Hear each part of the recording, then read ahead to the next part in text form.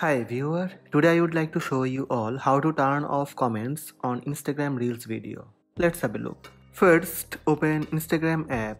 Tap profile icon on bottom right. Tap Reels icon. Then go to the Reels video for which you want to turn off the comments. Tap three dots from bottom left side.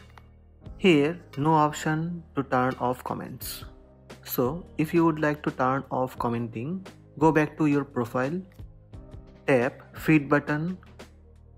Now from your profile feed, open that video.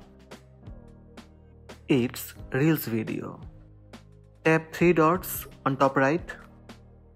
This brings up a menu on your screen. Tap turn off commenting. That's it. These are the steps to turn off comments on Instagram Reels video you can turn on commenting anytime. Hope this video help you. Please subscribe my channel by tap subscribe button. Also tap the bell icon to receive notifications about all new videos.